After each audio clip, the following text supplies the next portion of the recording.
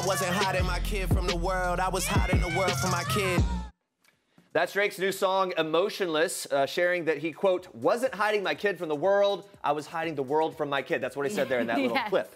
The rapper confirmed the news that he fathered a child with former adult film star Sophie Brussaux on his new double album Scorpion, which was released Thursday just before midnight on Apple Music. So, in another song titled March 14th, he addresses uh, his relationship with his son's mother while also referencing a Michael Jackson hit. Yeah, it says, She's not my lover like Billie Jean, but the kid is mine. Sandy used to tell me all it takes is one time, and all it took was one time. We only met two times, two times. There you go. Now, in the There lyrics, Drake also references his own mom, Sandy Graham. Yeah, he even goes so far as to confirm his son's October 11th birth date in the same track, saying this October baby for irony's sake, of course. I got this 11 tatted for somebody, now it's yours. Uh, rumors regarding Drake's son reemerged last month when Pusha T released a diss track called The Story of Adidon, in which he alleged Drake had a secret child that he was keeping under wraps and refused to acknowledge it. We remember all this kind of taking Yeah, and Pusha raps this on the track. He says, You are hiding a child, let that boy come home.